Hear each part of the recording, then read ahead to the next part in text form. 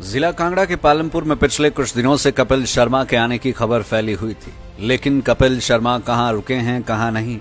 पिछले कल इन सभी अटकलों पर विराम लग गया, जब कपिल शर्मा अपने परिवार सहित पालमपुर के सौरभ वन विहार पहुँचे थे। जहाँ उन्होंने पालमपुर के शहीद कैप्टन सौरभ कालिया वन विहार का दीदार किया और कुछ फैंस से बातचीत भी की।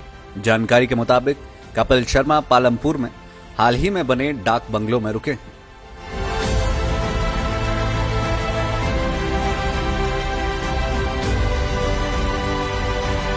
जिला कांगड़ा के पालमपुर में पिछले कुछ दिनों से कपिल शर्मा के आने की खबर फैली हुई थी। लेकिन कपिल शर्मा कहाँ रुके हैं, कहाँ नहीं?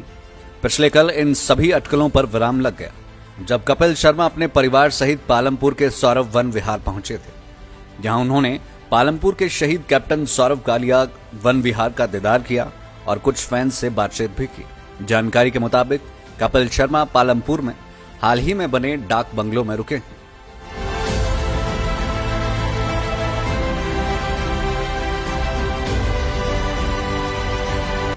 लाइव टाइम्स टीवी के लिए पालमपुर से शालिका की रिपोर्ट।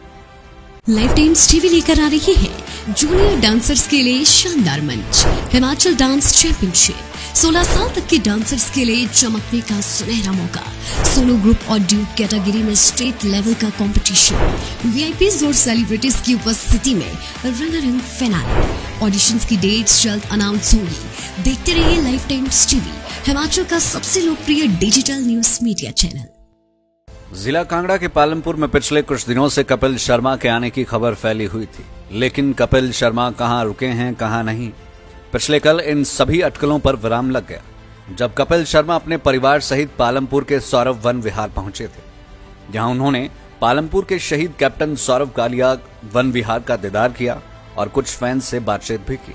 जानकारी के मुताबिक कपिल शर्मा पालमपुर में हाल ही में बने डाक बंगलों में रुके हैं।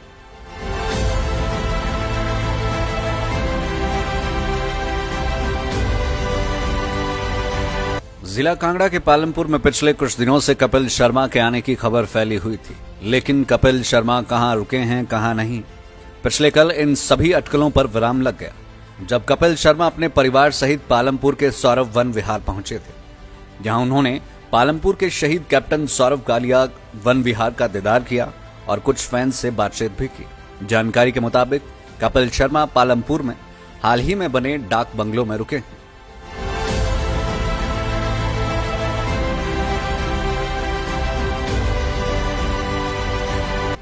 लाइव टाइम्स टीवी के लिए पालमपुर से शालिका की रिपोर्ट। लाइव टाइम्स टीवी लेकर आ रही है जूनियर डांसर्स के लिए शानदार मंच, हिमाचल डांस चैंपियनशिप। 16 साल तक के डांसर्स के लिए चमकने का सुनहरा मौका। सोलो ग्रुप और ड्यूट कैटेगरी में स्टेट लेवल का कंपटीशन वीआईपी और सेलिब्रिटीज की उपस्थिति में रनर इन फिनाले ऑडिशंस की डेट्स जल्द अनाउंस होंगी। देखते रहिए लाइफ टाइम्स टीवी, हिमाचल का सबसे लोकप्रिय डिजिटल न्यूज़ मीडिया चैनल